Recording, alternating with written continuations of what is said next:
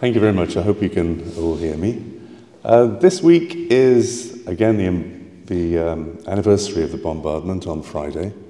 Um, let me just remind you. Here is the porthole in time that's just been put onto the uh, Marine Drive commemorating the bombardment. And as it says, on the 16th of December 1914, two German warships bombarded Scarborough with over 700 shells, killing 18 people. And just to highlight that, killing 18 people, the first civilians to be killed on British soil in World War I. And I've highlighted that because I, I want to go back to that statement a little bit later in the paper. But um, what I want to talk about is events leading up to the bombardment. And it's very interesting that I'm going to be dealing with history that didn't happen. And sometimes writing the history of things that didn't happen is as important as writing the history of things that did happen.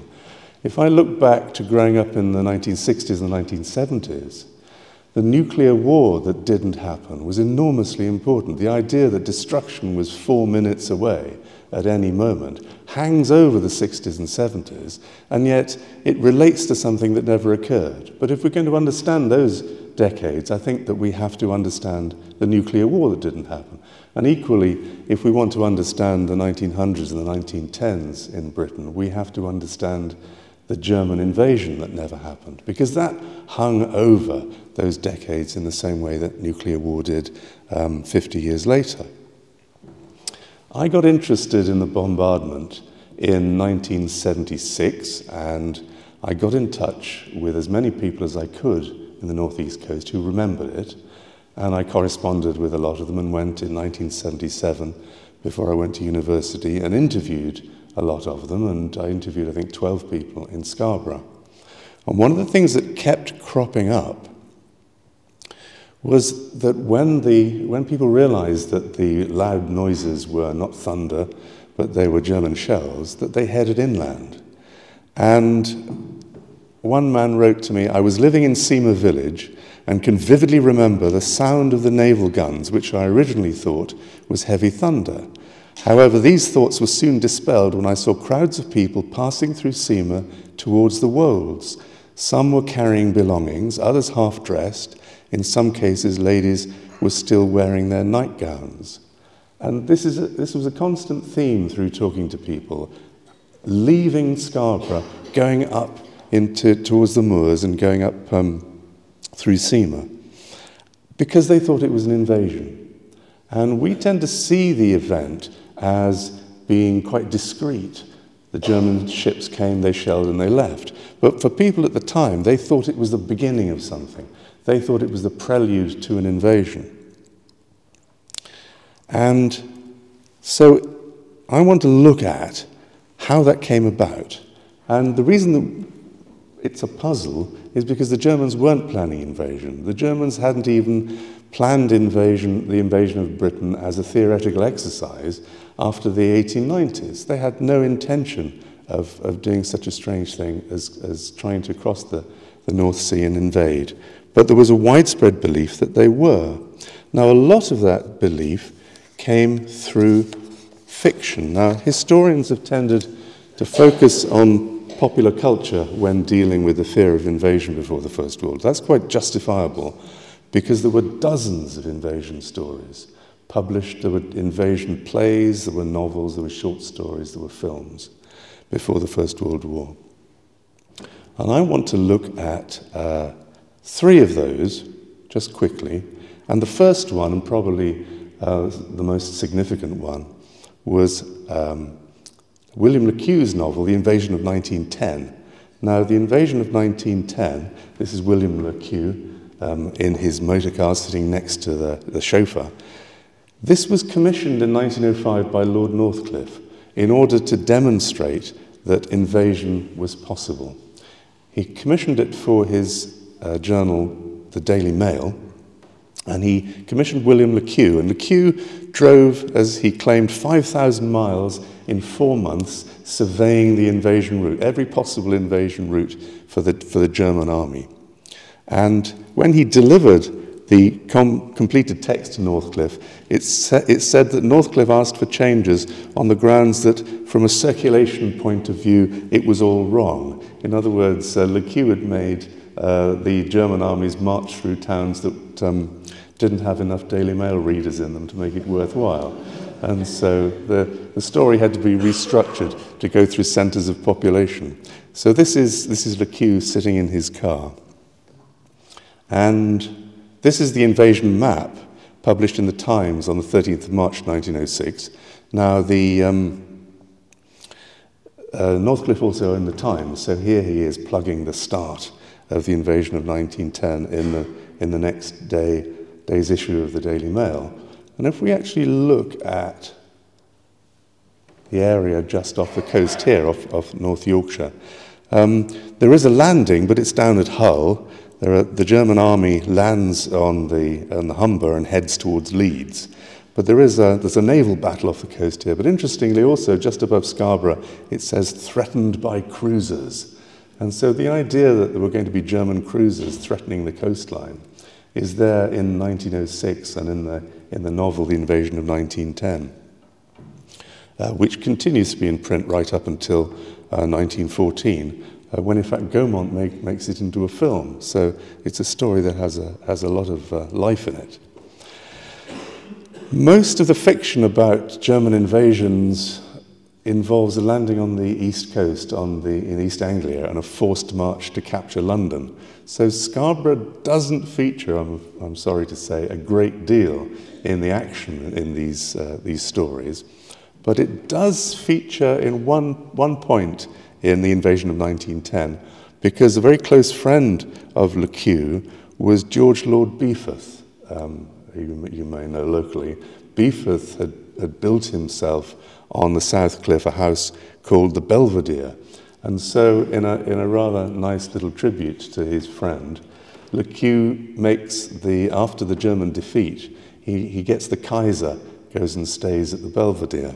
And so, in, in the novel, is this, this little report. This report is supposed to have come from the Daily Mail.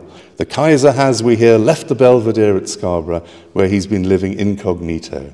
A confidential report, apparently well founded, has reached us that he embarked upon the steam trawler Morning Star at Scarborough yesterday and set out across the Dogger, with Germany, of course, as his destination. Surely he must now regret his ill advised policy of making attack, an attack upon England.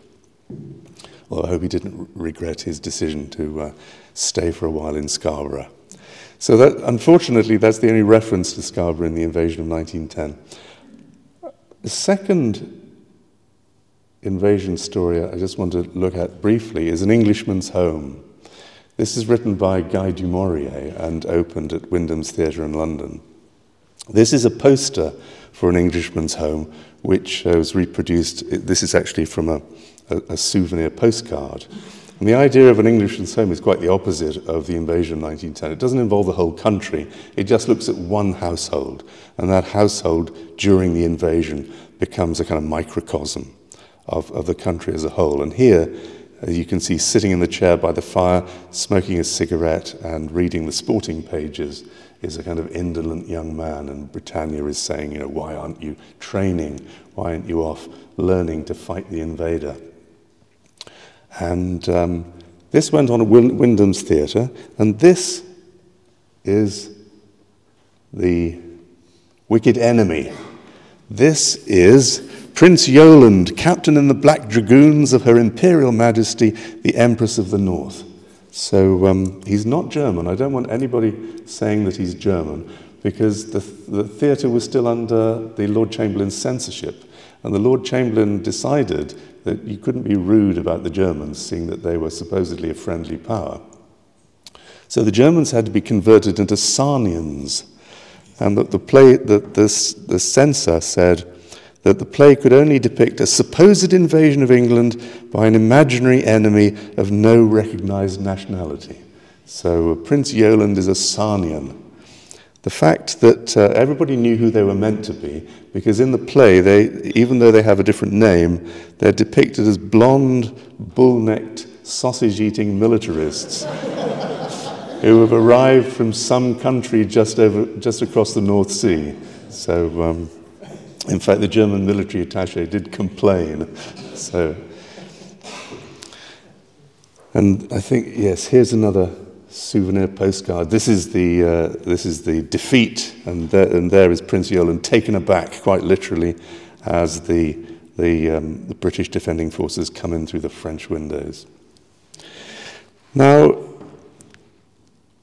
a recurring feature in the invasion fiction before the First World War are the Boy Scouts. Now, the Boy Scouts, the movement took off in 1908. And the Boy Scouts practice signaling and scouting and message carrying, all sorts of things that uh, would be useful uh, against an invasion. And, and before the First World War, a lot of local Boy Scout troops do, do take part in kind of um, activities which assume that the Germans have landed. And here's, an, here's a little postcard of um, a Boy Scout. This is a postcard from before 1914, Invasion be blowed. And the last fictional depiction of um, invasion that I want to just mention. And probably, if you're going to pick, if you're going to read two of the invasion stories, then read the invasion of 1910, but also read this one, which is written by the 27-year-old P.G. Wodehouse. And Wodehouse wrote this wonderful story called The Swoop, or How Clarence Saved England. And this is Clarence, this is Clarence Chugwater, who is the Boy Scout who saves England. And the idea of Wodehouse's novel is that the Germans have landed. The Germans have um, carried out their, their long awaited invasion. But by a bizarre coincidence, on the same day that the German army lands, the armies of eight other countries also land in Britain by, by a strange coincidence. And here is a, a, little, a little quotation. England was not me merely beneath the heel of the invader, it was beneath the heels of nine invaders. There was barely standing room. And as he goes on to say, Germany had landed in Essex, the Russians occupied Yarmouth, the Mad Mullah captured Portsmouth, the Swiss Navy bombarded Lyme Regis, the Chinese have landed at a deliberately unpronounceable Welsh watering place. Um, the army of Monaco had descended on the Firth of Clyde, and Within two minutes of this disaster by Greenwich time, a boisterous band of young Turks had seized Scarborough. At Brighton and Margate, there are Moroccan brigands have landed, and also the, uh, the warriors from the distant Isle of Bollygolla. And as Wodehouse says, this was a very serious state of things. Luckily, as I've, as I've suggested, um, Clarence Chugwater, the Boy Scout, manages to uh, confound them all but unfortunately, as I say, most invasions take place in the, in the south, southeast. And so this is the only one I know before the First World War where young Turks landed in Scarborough. Now, many of the pre war stories about invasion involved German spies helping to plan it or acting as guides to the invading forces. And this tended to throw a lot of attention onto the German colony in Britain. By 1914, there were around 50,000 German and Austrian men living in Britain and 25,000 women. A large number of the men worked in catering and hospitality, and it was a recurring motif in invasion and spy fiction that German waiters were all spies. And um, even if they told you they were Swiss, you, you were told not to believe it. They were definitely German spies. And Le Queux, William Le Queux, returns to this in, a, in a, a novel, a series of short stories called Spies of the Kaiser Plotting the Downfall of England in March 1909. And here, in advertising for March for Spies of the Kaiser, is the same German. Here he is as an officer in a crack German regiment. And here he is as a waiter spy in Britain. So this is, the, this is the German officer who brings you your drinks in your club or in the hotel and listens to your, to your conversations. So there's a great deal of suspicion about the German colony in Britain.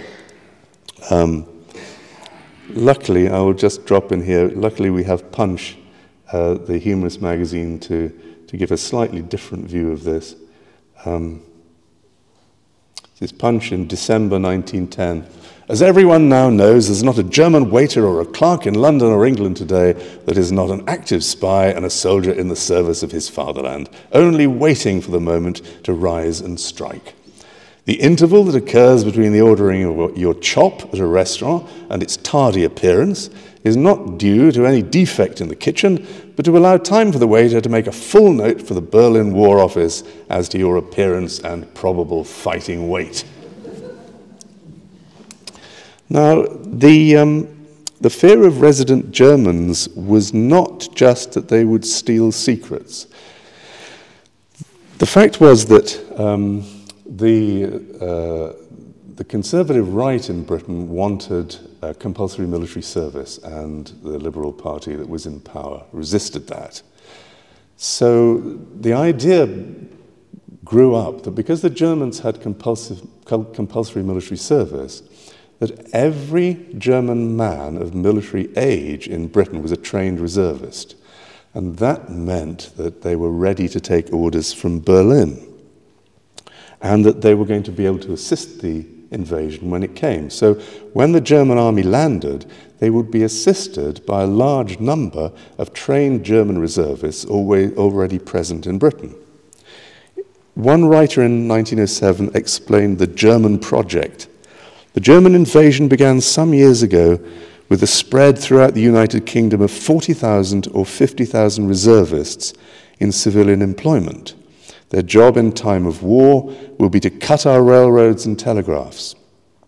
The next move will be to burn our mobilization stores, and the third move to sink tramp steamers loaded with Portland cement across our naval fairways. Next will come the landing of about 50,000 men on the east coast. So the, the idea develops that there's an army already in Britain of a very large number, probably some thousands, of trained German reservists. There's a hidden military army that's already here. Now, what that means is that you're not simply looking forward to the possibility of invasion. The invasion has already started because they're already here and they're already planning to blow things up.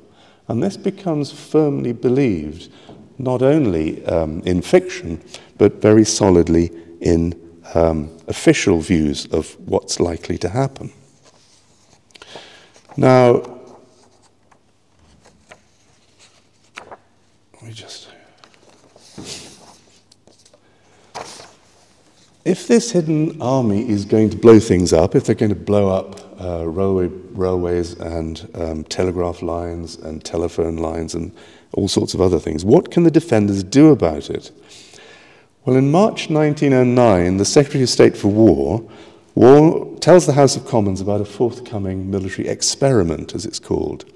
The idea is that the German army has landed at Hastings, uh, obviously uh, um, had been used before for landings, landing at Hastings, and that resident German agents had blown up the railway lines, uh, the bridges and tunnels, forcing the defenders onto the roads. And so the idea was that a thousand troops had to be brought from London by car. And so 300 cars were organized. And this is a, a photograph of the cars arriving in Hastings. 300 cars are organized to take the troops to Hastings. And this is obviously very well publicized, gets um, a, a, lot of attention. Here are the same troops marching through Hastings when they've got out of their cars. But this whole operation is based on the idea that there has already been sabotage. And the idea that there's been sabotage is based on the idea that there are spies, there are sabotage agents already in Britain. So there's this very strong endorsement of the idea of saboteurs being already in place. And almost immediately after, in April 1909, comes something called the Yorkshire Motor Transport Experiment. This is based on the idea that the Germans have landed at Scarborough and that it's necessary to bring troops over from Leeds by car. So in April 1909, 124 cars belonging to the Yorkshire Automobile Club set off from, from Leeds and bring 500 soldiers. As the cars leave Leeds, of course, they're saluted by a troop of Boy Scouts, And when they reached Malton, the streets were crowded, flags fluttered from scores of windows, school children carried Union Jacks and waved them lustily. And they finally met the troops pretending to be invaders just outside Seamer at Stony Hags. And there is the Battle of Stony Hags on the 24th of April 1909. Now, the map here, see if I can do something quite. Oh, yeah, there we go. There's the railway, Seamer railway station. This is the road to Scarborough. And here is uh, Stony Hags. This is where the battle is fought. Hmm, okay, interesting. So in April 1909, um, the Leeds defenders are victorious and they drive on to Scarborough. They go round the marine drive onto the seafront. They're met by the mayor. Various restaurants were patronized, says the, says the local paper, and it was not long before the men were out again, riding on donkeys across the sands, playing football, and smiling upon the girls, while the officers had lunch at the Grand Hotel. So it was, it was quite a day out. But it's a very, it's a very specific official statement that there is a danger from invasion at Scarborough, and also that there are German spies around who, in this case, have blown up the, um, blown up the railway bridges, making it necessary to come by car. Critics for, for all these exercises said, well, why hadn't the German spies blown up the roads as well? But there was kind of a bit of huffing and puffing about that. Now, MI5, the decision to create MI5 was taken four days after the uh, Yorkshire Motor Transport experiment.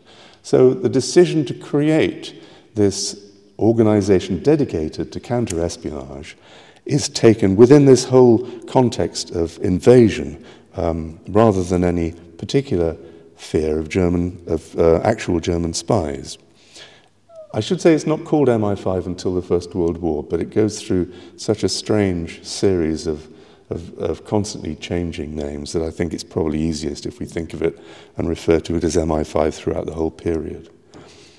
Its head is. Um, why is that doing that? Okay.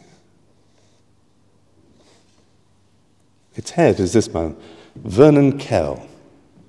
And here's another picture of, of Kell. This is Kell looking um, quite pleased with himself on Armistice Day, um, 11th of November 1918, uh, celebrating the defeat of Germany, when all the staff of MI5 went up onto the roof and they were all photographed. So here's Kell. So Kell starts work at uh, the end of October 1909, and he's soon collaborating with chief constables on schemes to frustrate what is believed to be the German plan of uh, sabotage in advance of invasion.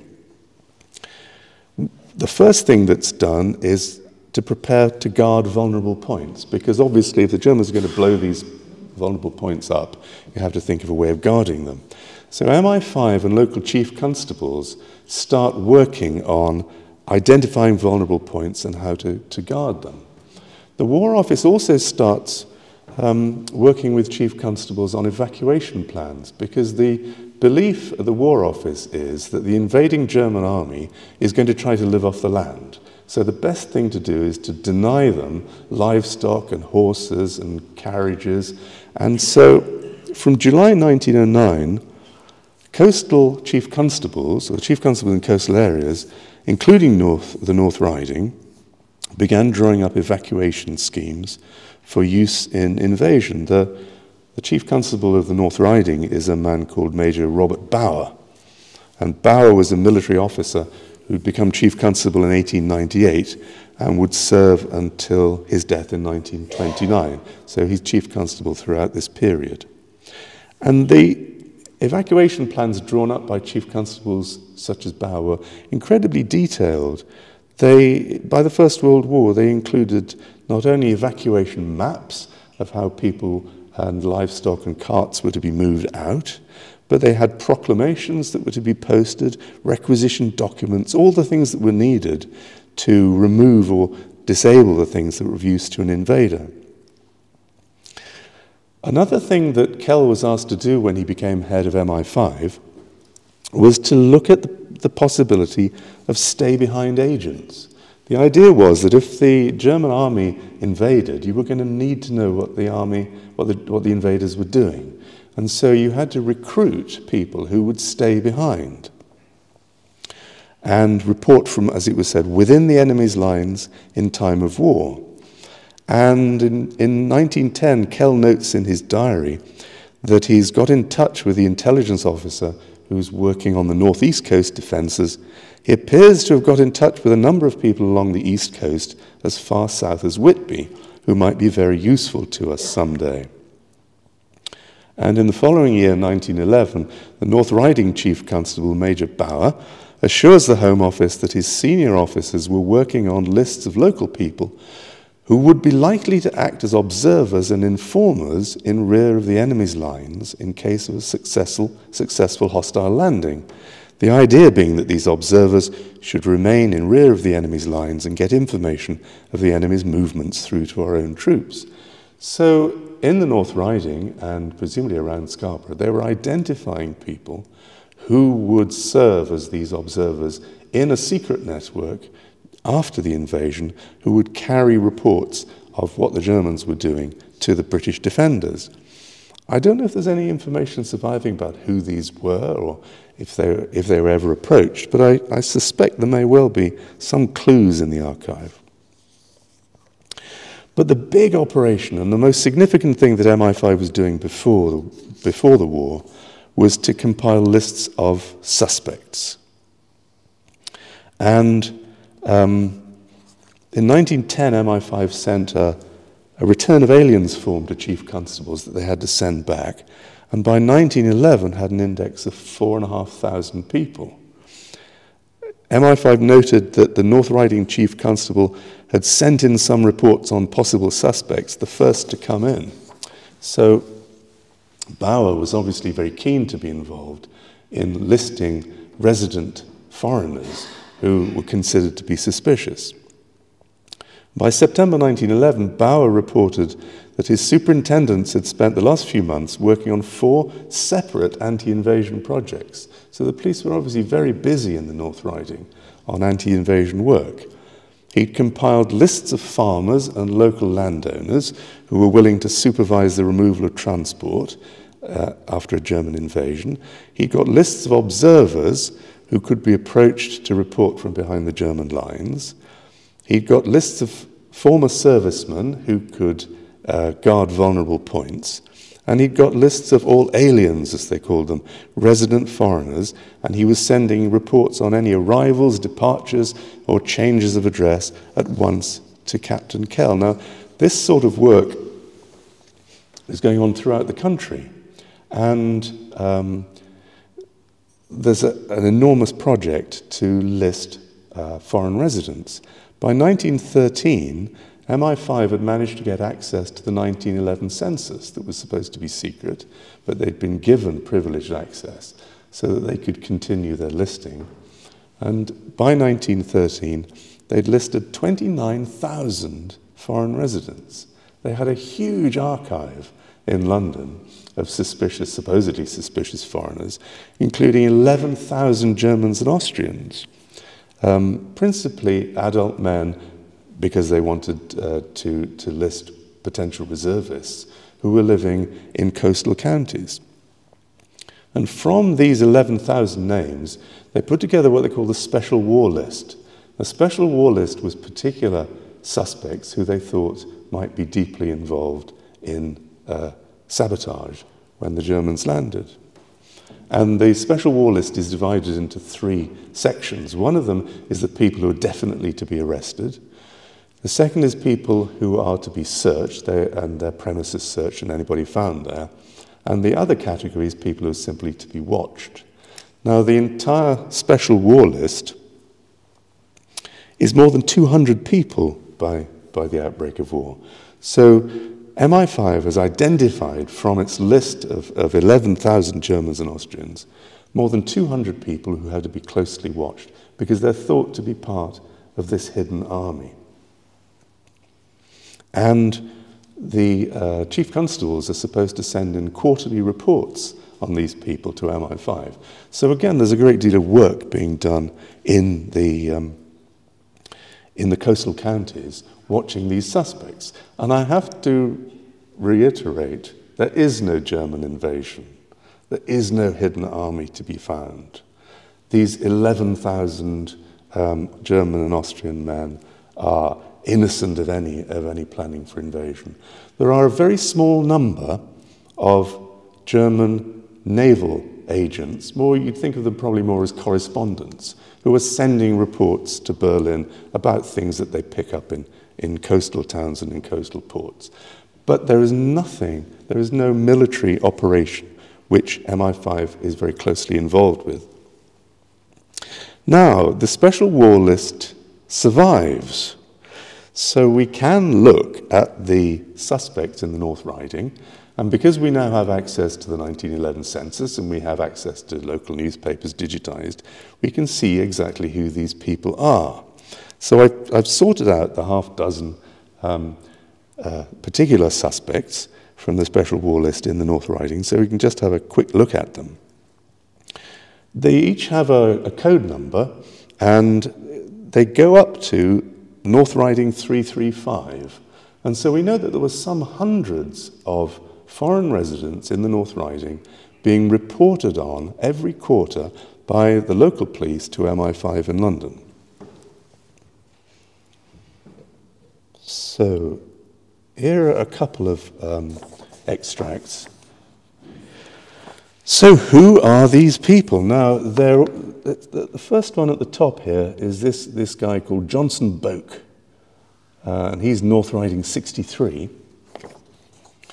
And he's, as you see next to his name, it says G. That means he's German. So they're watching this guy, Johnson Boke, and down at the bottom here is Carl Cook, G. He's German as well. North Riding 248. So what do we know about these people? Well, Johnson Boke was British. He'd been born in Driffield. His parents were both British. His father had been born in Scarborough. He wasn't German. There's no indication why he was on the special war list, and as you can see, it was cancelled in 1912. What about Carl Cook? Carl Cook was a British mechanical engineer. He'd been born in North Ormesby in 1874. He's not German. He had German parents, but he wasn't German himself. So let's go to the let's go to the next one. Here we have William Dingles, German. George Dingles was British. He was an iron moulder born in Stockton. There's no indication why he's listed, except he had German parents. Bertrand Harvent, North Riding number 77, German. Well, he's not German, he's a British accountant. He's born in France, but he got, had British citizenship through his parents. And it says cancelled 1914, presumably because it was realized the information was completely wrong. Now, this isn't a very good start. You can see a theme developing here. Men who are not German are being listed as German. The question is why? Well, Britain followed something called the jus soli, or the right of soil. Now, that meant the tradition was to give British citizenship to anyone who was born here. The Germans followed something called the jus sanguinis, which is the right of blood. In other words, a child born anywhere in the world to German parents could claim German citizenship.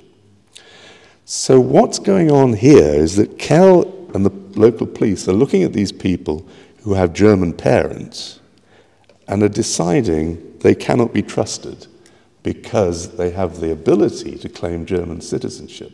Of course, none of them do claim German citizenship. You can see in the census that they're listing themselves as British.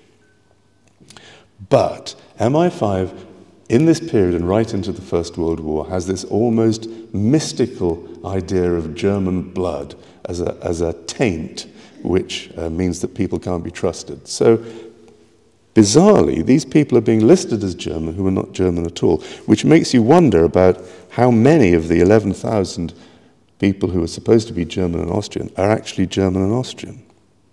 So let's look again. Here we have this guy, German Casper. Well, Casper is German. He's born in Germany. He's a teacher of languages. And obviously, he's cancelled in 1913 because he goes home. Well, Adolphus Lauer, again, North Riding 157. Lauer was a hotel manager who'd been born in Germany, but he claimed British citizenship by parentage. He had an English wife, four children born in England, which again possibly contributes to his entry being marked as cancelled by 1914. Uh, here we've got uh, Julius Muller. He's a foreign correspondent in the iron and steel industry. He's gen genuinely German, but I've no idea why he's listed. He was, he's not down to be searched, he's not down to be arrested, and as far as I can tell, um, he had absolutely no connection with, with Secret Service. Ernest Newman was again German. Again, he's a foreign correspondent in the iron industry. He's married to a British woman and has two British children, so there's no indication of why on earth he should be on the list. And we have Albert Schwenk. This seems to be a mistake. I can't find any Albert Schwenk at that address. Um, there's a guy, an elderly German language teacher called Friedrich Schwenk at that address. It seems that this is a mistake, and that raises another interesting question. There are lots of mistakes in the, in the special war list as it survives. Now, the last two, Hugo Spiegelhalter, Flowergate in Whitby, and Ludwig Wolf, Flowergate in Whitby. Again, Spiegelhalter is uh, a well known jeweler in Whitby. He's British. He's listed as a German, but he's British. He was born in Bradford. His parents were German. They'd lived in Bradford for a very long time. His father was naturalized. Uh, Hugo had a British wife and two sons, but MI5 decides that he's German, which he isn't, and they also give a German spelling of his surname, which is a wonderful extra piece of prejudice. And then Ludwig Wolf, who again didn't spell his name like that, he spelled it without an E. He was naturalized British. He was a hairdresser on Flowergate in Whitby. He'd been naturalized since 1880, so he'd been naturalized for 34 years by the outbreak of war. He had a British wife and three British children. So there's something very strange going on here. There's a great deal of prejudice. None of these were German spies, most weren't even German, and yet they were the most suspicious out of hundreds of people in the North Riding who were being monitored and watched by MI5 and the police. None of them was ever proceeded against, and listing them was, it seems, an act of, of sheer prejudice.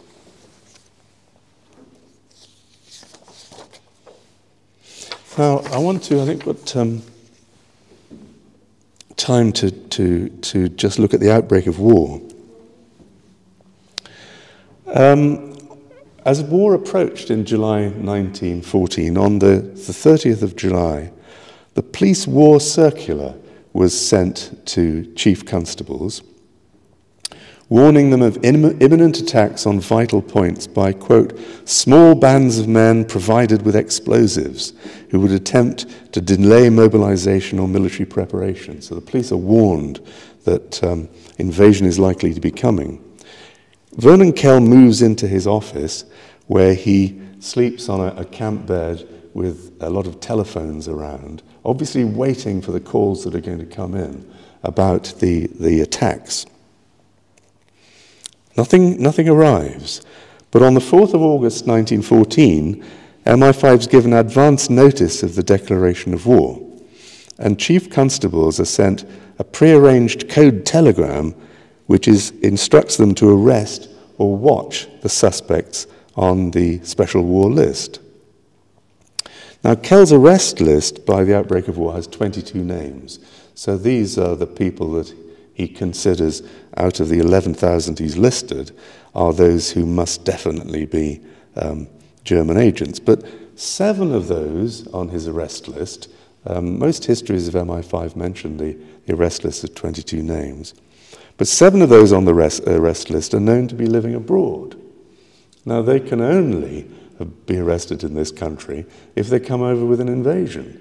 These are known uh, directors of German intelligence who are in Germany or in um, neutral countries. And the idea that Kell can order the arrest of these 22 people um, is, is quite wrong. Another five, again, weren't at the ad addresses listed when the police went, so rather like the mistake we saw in the North Riding. The head of the special branch admitted the operation resulted in the arrest of only nine or ten of the known spies, uh, most, of, most of whom were, as I say, the, the German agents who were reporting on naval affairs. On the, there was an agent in Hull, for instance, who reported on minesweeping before the war and on minefields. He sent in uh, a plan of, of the docks at Immingham. He sent a report which he got uh, commended for about the German, about the British naval maneuvers. So that's the sort of information that was being sent. But none of these agents had been expected to continue reporting after the outbreak of war, and they were really quite minor agents. Kell then decided that because the, um, because the arrests and searches on the outbreak of war hadn't revealed this great military organization that he still believed existed, he ordered all those on the watch list to be searched as well. And so there must have been a lot of police raids all over the country, including in the North Riding. Um, police raids at, uh, on the outbreak of war looking for potential spies. But of course, nothing nothing was found. Now, the guarding of vulnerable points on the outbreak of war had begun with the issue of the police war circular on the 29th of July before the outbreak of war. And it was based on the complete fantasy of this army of saboteurs that was going to blow things up. Armed regular soldiers and territorials were posted at the most important structures on the lines to be used by troop trains and three days after they were posted, they became the first British soldiers to fire shots in anger during the war, when nervous sentries at Weston-super-Mare shot and injured a man who was too deaf to hear the challenge. A war was declared on the 4th of August, and six days later, a sentry on the railway near Redhill was shot and injured by a colleague. The following day, a sentry near Birkenhead was shot dead during the chase after an imagined spy, while the sentry guarding a canal bridge near Liverpool shot and killed a man, obviously convinced that he was a, a German saboteur. On the 18th of August, in, in a really horrific incident, a young man at Felixstowe was first shot and then bayoneted to death by a terrified sentry, and two days later, soldiers on guard in Saltburn and Aldershot both shot and killed men who'd failed to answer their challenge. The young man at Aldershot was shot in the back by a soldier who didn't realize that he was deaf. The Daily Express advised the deaf not even to wait for a challenge, but to hold up their hands the moment they see a sentry. So this takes me back to the, the plaque at the beginning of the talk. These were the first British troops to be shot in the war. These were the first British civilians to be killed in the war. But they've dropped out of history. I think they've dropped out of history because they were, the troops were killing each other and that the, the, civilians were shot by British soldiers. But I don't really think they should fall out of the history of the war. Um, I think they were casualties of the war and they demand a, a, a memorial somewhere. And it's very interesting that in the opening weeks of the war, the British are shooting more civilians than they are arresting German spies, um, despite MI5's efforts in the, in the, the pre-war years. And they were killed because of this fantasy that MI5 had been spreading for five years. And um, At the same time, let's have a look. Oh, yes, I should. These are, this is a photograph of um, arrests on the outbreak of war.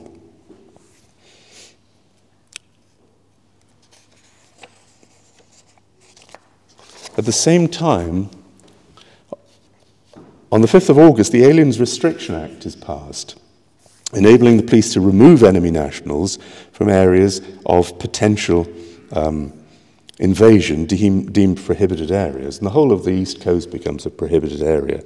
And that's why uh, a lot of Germans disappear from the northeast coast. They would have been removed from the prohibited area, which included Scarborough. The police focused on removing German reservists and all suspicious foreigners who, quote, have resided sufficiently long within the prohibited area to be well acquainted with the nature of re its resources, in other words, to help uh, an invader. No further action before the war had been contemplated against resident uh, foreigners, but MI5 was very concerned about the threat of invasion, about the threat of sabotage. And so on the 7th of August, so that's uh, the third day of war, it persuaded the, Home, the War Office to order the arrest and internment of all resident German and Austrian men of military age, in other words, the reservists who might be planning to um, carry out sabotage. That was really unexpected and um, mistaken. Firstly, because there was nowhere to put them. There was just there were no camps in which to put them. And secondly, bizarrely, at that point we weren't actually at war with Austria. And so we couldn't simply order the arrest of Austrian men. So that it was, it was countermanded, but it was soon reinstated. And so by the 20th of September, 10,500 German and Austrian men had been interned uh, at which point the arrests had to be suspended again because the camps were full. This is something which isn't often talked about. Oh, this, this photograph shows the arrest of um, German and Austrian men of, of, military age, although at the bottom of this postcard, which is uh, a British postcard, but it's designed for sale in France, it says that these are German spies arrested at Willesden, um, which they aren't. They're simply um, German men being interned under the uh, hastily passed Aliens Restriction Act. Something that's not really focused on a great deal is the complete destruction of the German colony in Britain um, during the opening years of the, the First World War. These 50,000 men and 25,000 women, who largely regarded Britain as their home, um, Within three years of the outbreak of war, 30,000 German and Austrian men had been interned, and 21,000 men and women had been deported. This is a huge operation which doesn't get, get much written about. And none of these people were, were any threat, and the fears that led to their, um, to their arrest and internment had their basis in this uh, groundless fear of German invasion. At the same time, the operation, intelligence operation for Stay Behind Spies was actually put um, into effect. On the first day of war, the 5th of August 1914, the Observer Scheme went into operation in the eastern counties, initially in the south, in the, in the east and southeast. Regional intelligence officers were appointed, and they, in turn, uh, recruited the observers and chief observers who'd been identified before the war, and they made contact with local police and military commanders. In September 1914, Northern Command was given uh, money to extend this network into its own area, at which point the stay behind agents would have been recruited and appointed for the North Riding. So, on the outbreak of war, there was an intelligence operation set up, there was a network set up along the east coast as far up as the North Riding to deal with uh, a German invasion. And again, I'd be fascinated to know whether any information about who was in this network uh, survives in the, um, in the local archives of, of any of the police forces on the, on the east and northeast coast. And these uh, uh, observers and chief observers weren't idle while they were waiting for the German invader but they were used to monitor resident foreigners and also any naturalized British. So they would have gone after the people on the special war list on the grounds that in the event of a German attack, they were capable of obtaining information and passing it to their information depots for transmission to the opposing forces. That, includes uh, several levels of fantasy. Firstly, that the Germans are going to invade. Secondly, that there are things called information depots and that they're serviced by German spies. So the, the, the, the fantasy is quite deep and at many different levels. So, what's going on in Scarborough? Well, there are a lot of defences put up. This is a map of the, the defences, a plan of the defences in, in Scarborough, uh, principally against invasion. You may have seen this already, which is a famous photograph of the sandbag barrier at the end of Eastborough to, to stop troops um, marching into town. And here also, here is the, um, the barbed wire entanglement at the uh, bottom end of Bland's Cliff. So the idea of um, the idea of uh, German invasion is not coming into the minds of people in Scarborough by the time of the bombardment simply through fantasy and spy fever, which people often, historians often write about.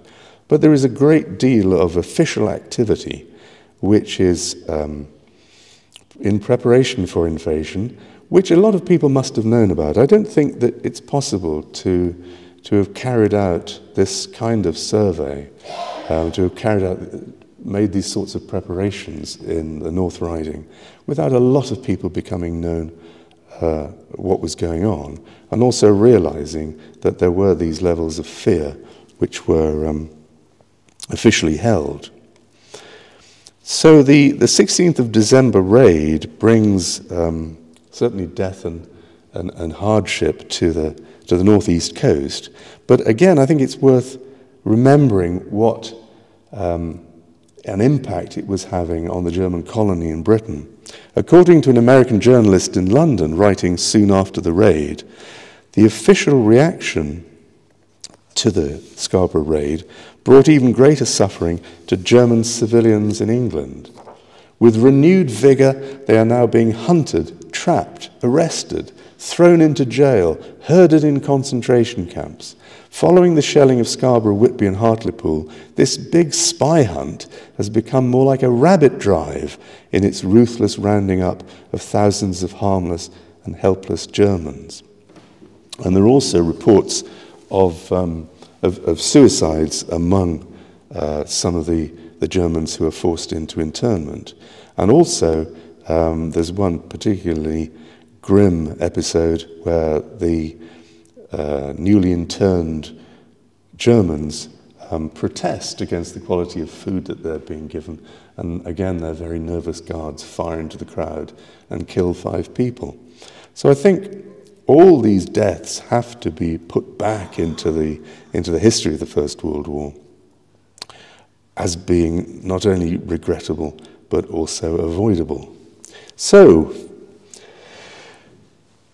to go back to the Scarborough raid, um, it came at the end of five years of secret preparations by MI5 and chief constables for a German invasion that never came.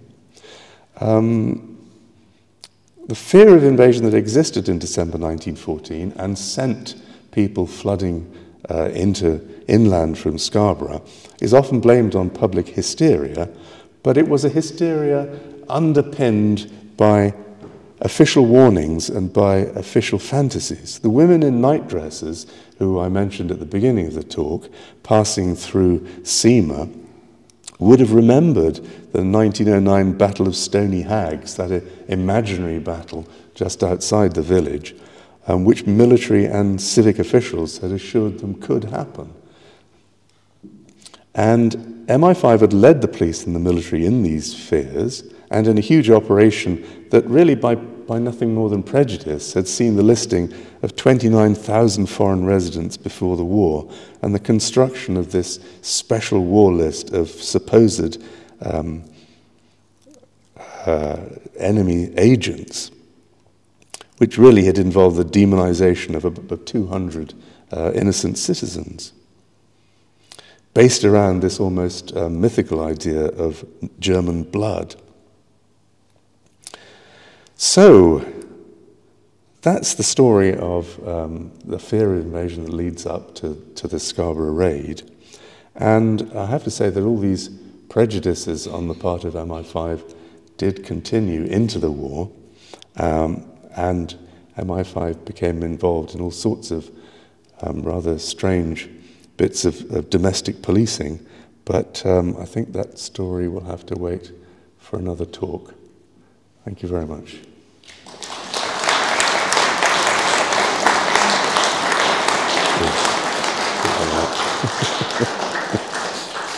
Thank you, Nick. Does anybody have any questions for Nick? Did um, fear of invasion reflect um, sort of a lack of confidence in the Royal Navy? Well, it's interesting that I, I perhaps should have mentioned that in the decade before the First World War, there were several official inquiries at a very high level in government into the possibility of invasion. And the, the chance of German invasion was ruled out time and time again. And every time the Royal Navy said, well, you know, we can, we can protect the country, we can stop them from, from crossing the North Sea, the War Office would come up with another possibility. You know, what if the fleet was lured away somewhere? And, well, no, we think we can probably do. Well, what if all the communication lines from the East Coast were blown up by resident agents so you didn't know they'd landed for 24 hours? So it's really, um, the government keeps coming back and saying, no, we've looked into this and it's not possible for, for Germany to invade because of the strength of the Royal Navy. But the War Office keeps coming back with other possibilities. So eventually, by the First World War, the War Office has been told they can't plan for an invasion. The Germans aren't going to try to take over the country, turn it into a German province. They've been told they can plan for an almost suicidal descent of up to 70,000 troops on the east coast, followed by a forced march on London to, to knock out um, Whitehall um, in order to force the government to surrender. So there was a great deal of confidence in the Royal Navy everywhere except the War Office. And there was a kind of zero sum game. It was felt that if the, if the if the Admiralty got more money, that meant there was less money for the War Office, so the War Office had to kind of fight its corner. But all this planning, official planning, does go against the background of the War Office constantly being told that invasion just isn't possible because of the Royal Navy. Was there any comparable activity within German society? Um, there was certainly fear of spies, uh, but it's interesting that even though British civilians were, in, for instance, interned in Germany during the First World War, it was in retaliation for what the British had done. There wasn't any plan in Germany to intern British civilians uh, at the outbreak of war. And it was done because MI5 had pressed for the uh, internment of German civilians in Britain. There were very many fewer British citizens living in Germany, so it made it a slightly different problem. But um, there, were, there were fears of, of spies across all Western nations.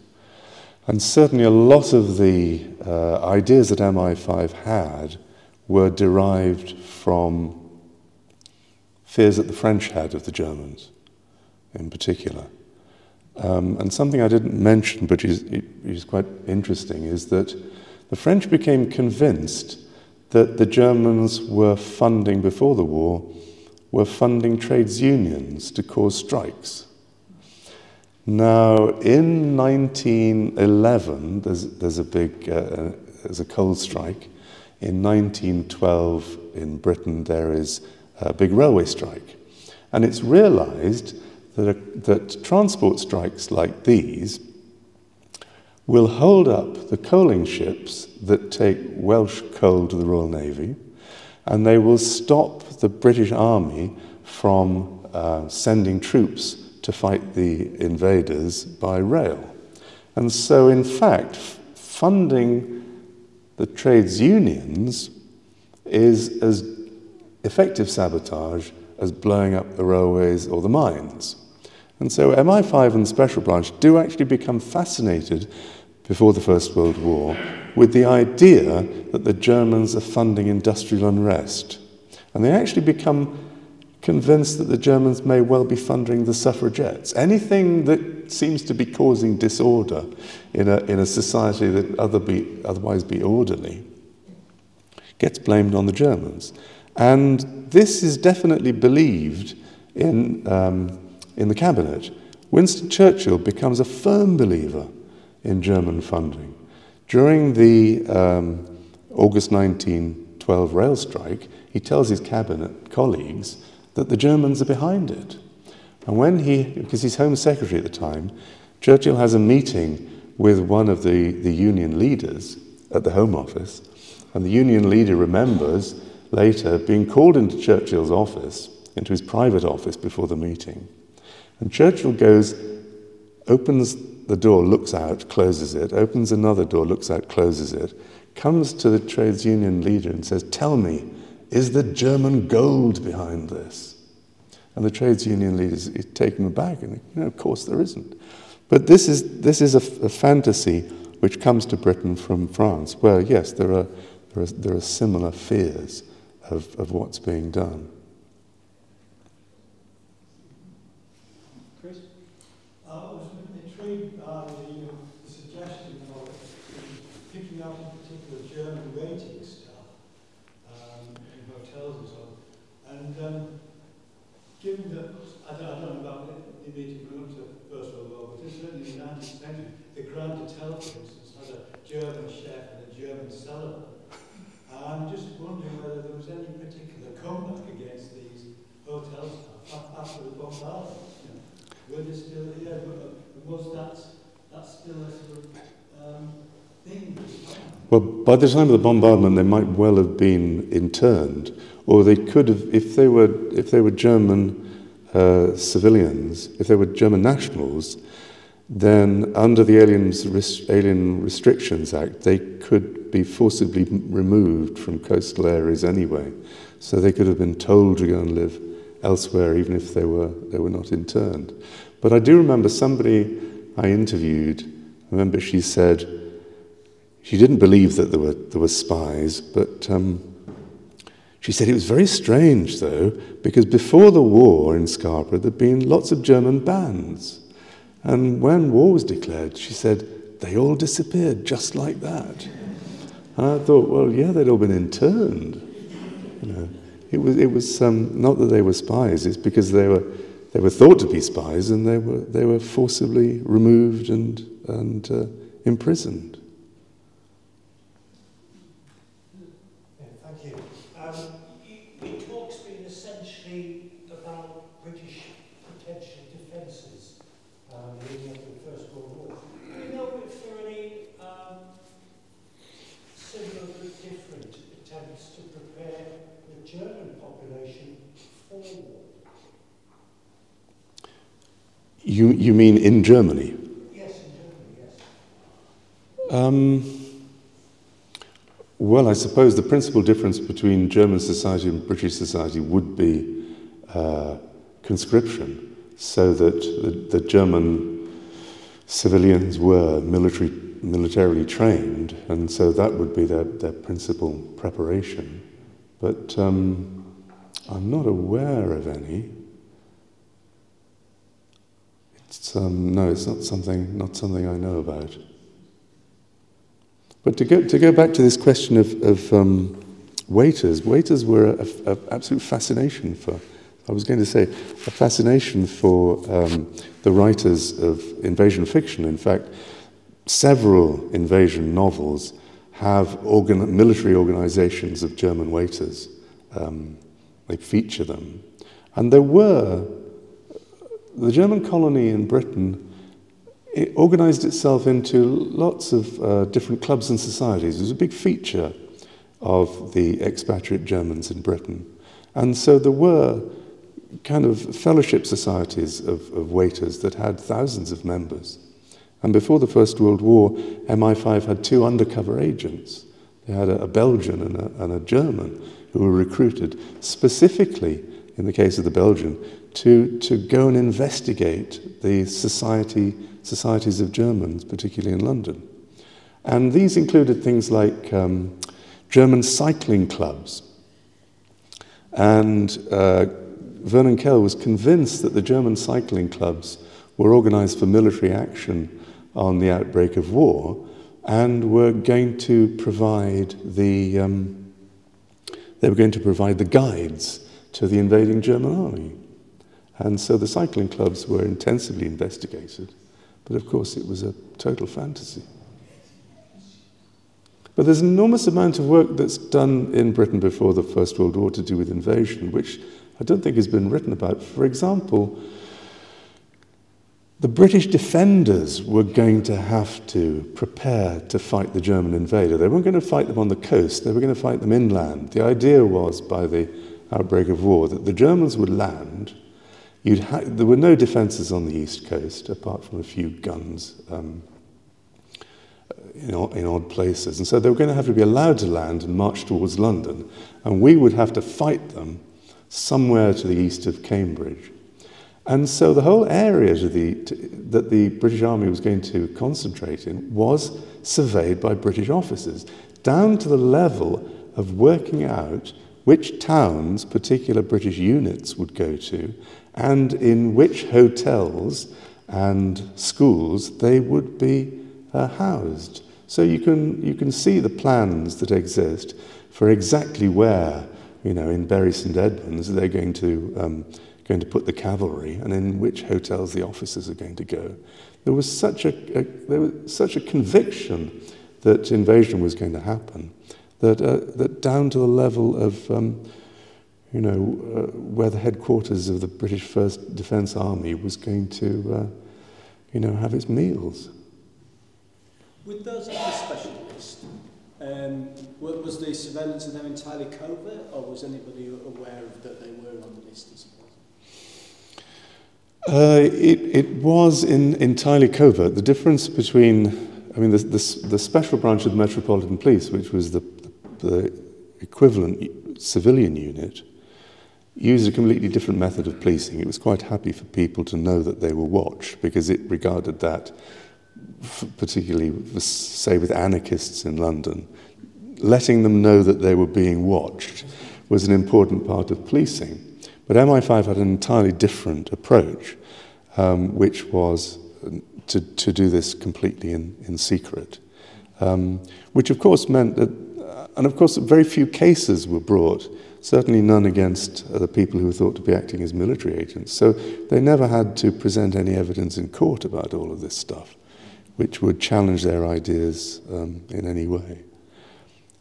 And th- which was another problem of their investigating the German colony, because the way that it was done essentially was the same way that uh, policing was, was done by the, by the special branch.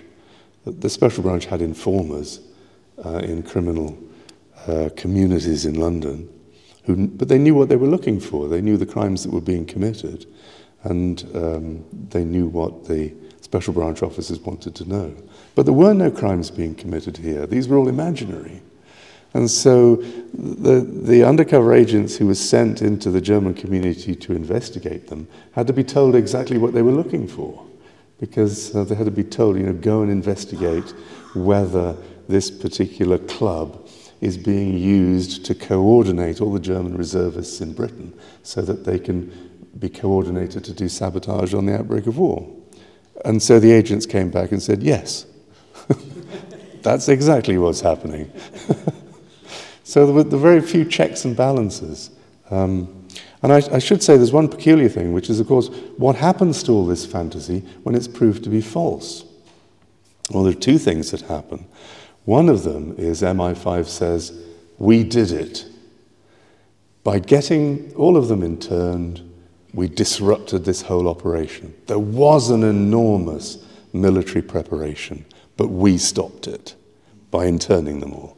And of course, you can't investigate that at all. You can't prove that it's, it's right or wrong.